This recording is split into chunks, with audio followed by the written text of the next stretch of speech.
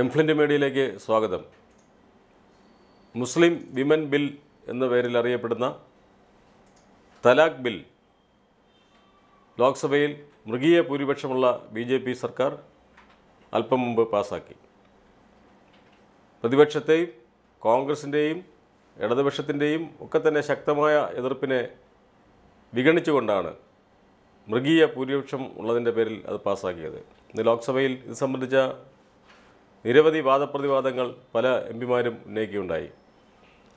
കോൺഗ്രസിന്റെ ജയറാം രമേശൻ ഉൾപ്പെടെയുള്ളവർ അതുന്നയിച്ചു ഒടുവിൽ പ്രധാനപ്പെട്ട മൂന്ന് ഭേദഗതികൾ തള്ളിക്കൊണ്ടാണ് ലോക്സഭയിൽ ഈ ബില്ല് പാസ്സാക്കിയിരിക്കുന്നത്. ആ ഭേദഗതികൾ അവതരിപ്പിച്ചവരിൽ രണ്ടുപേർ കേരളത്തിൽ നിന്നുള്ള എം പിമാരാണ്. ഒരാൾ യു ഡി എഫിന്റെ ഭാഗമായ ആർ എസ് പി നേതാവ് എൻ കെ പ്രേമേന്ദ്രനും മറ്റേയാൾ എൽ ഡി എഫിന്റെ ഏക ലോക്സഭാംഗമായ സി പി എമ്മിന്റെ എ എം ആരിഫുമാണ്.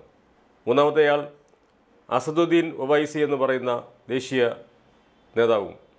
ഈ മൂന്ന് പേരുടെയും ഭേദഗതികളെ തള്ളിക്കൊണ്ടാണ് മുന്നൂറ്റി എൺപത്തിരണ്ടിനെതിരെ മുന്നൂറ്റി രണ്ട് വോട്ടിന്റെ ഭൂരിപക്ഷത്തിൽ ഇന്ന് തലാഖ് ബില്ല് പാസ്സാക്കിയത്. തലാഖ് ബില്ല് നമുക്കറിയാം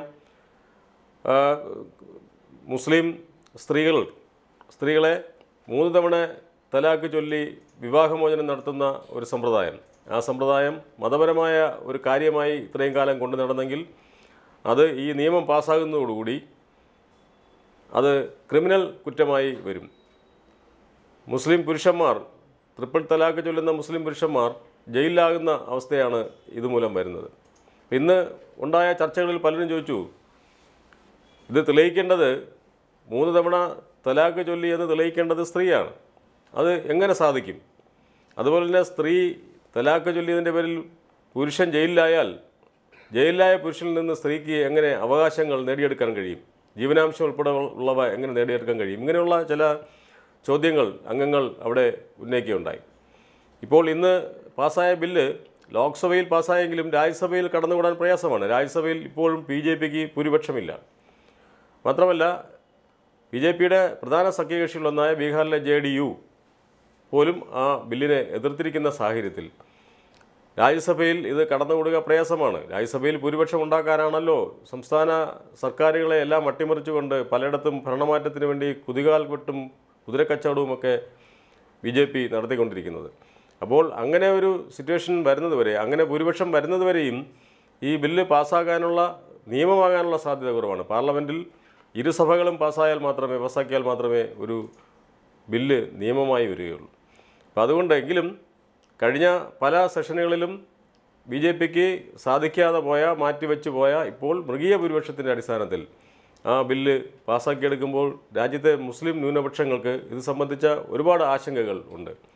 മുസ്ലിം വ്യക്തി നിയമവുമായി ബന്ധപ്പെട്ട പല കാര്യങ്ങൾ കൈകടത്തുന്നു എന്നുള്ളതായിരുന്നു അവരുടെ പ്രധാന ആരോപണം. രാജ്യത്തെ മുസ്ലിം ന്യൂനപക്ഷങ്ങൾക്ക് നേരെയുള്ള കടന്നാക്രമ കടന്നാക്രമണങ്ങളിൽ പ്രധാനപ്പെട്ടതായിട്ടാണ് മുസ്ലിം സംഘടനകളും എല്ലാം അതിനെ കാണുന്നത്. അപ്പോൾ ഈ ബില്ല് ഇന്ന് പാസ്സായതോടുകൂടി ബി ജെ പിയുടെ അവരുടെ ആ ഒരു ആഡമൻ നിലപാട് ഉറച്ച നിലപാട് അവർ ഒരിക്കൽ കൂടി ഉറപ്പിച്ചിരിക്കുന്നു. ഒപ്പം തന്നെ തുടർന്നുള്ള നാളുകളിൽ രാജ്യസഭയിൽ എങ്ങനെയാണ് ഈ ബില്ല് പാസ്സാക്കിയെടുക്കാൻ പറ്റുക എന്നുള്ളതിന്റെ തന്ത്രങ്ങളിലേക്കും കൂടി ഇനി കടക്കാൻ ഇരിക്കുന്നതേ ഉള്ളൂ